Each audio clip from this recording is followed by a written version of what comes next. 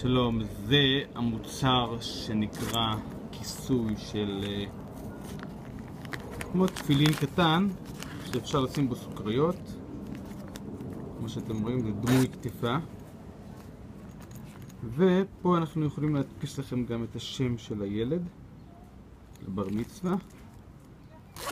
וגם אפשר להשתמש בזה בתור אה, לאחר שימוש אפשר לשים בזה נגיד אה, כסף קטן. בשביל צדקה בבית כנסת שמים את זה בכיסוי של התפילין.